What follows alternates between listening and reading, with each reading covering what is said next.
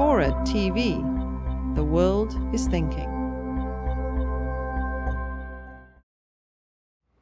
Uh, what do I think about the reform, the effort to reform the filibuster?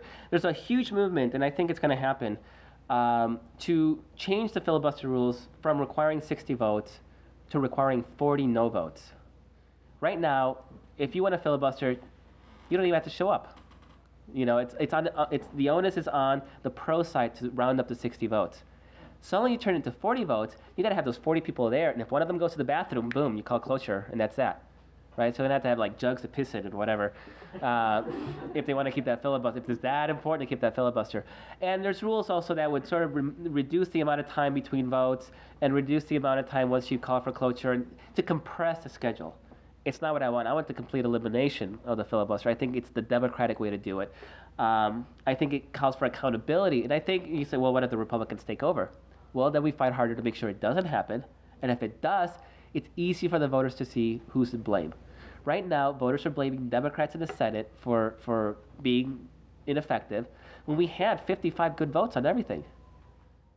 It's those four or five Democrats that sort of sided with Republicans and the Republicans that bottled it up. Now they're going to uh, the voters and saying, look, the Republicans didn't do anything in the Senate.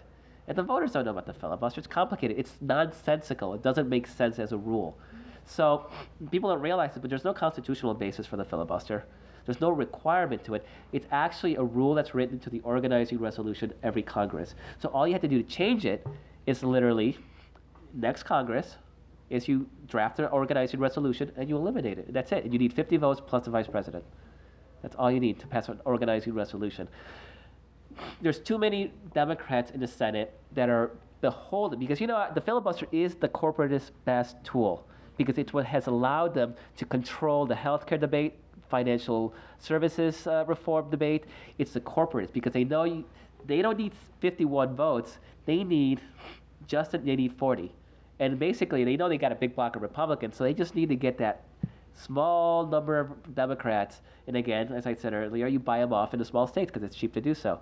That's all you need to do. So the corporatists are the most in favor, and there's too many corporatist Democrats still that realize that if the filibuster was eliminated, their power, their ability to manipulate legislation, and their ability to shake down those corporations for more money would be eliminated. So those are the bad Democrats that eventually, long term, we want to get rid of.